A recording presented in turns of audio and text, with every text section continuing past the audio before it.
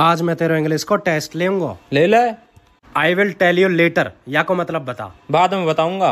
अभी बता हराम जादे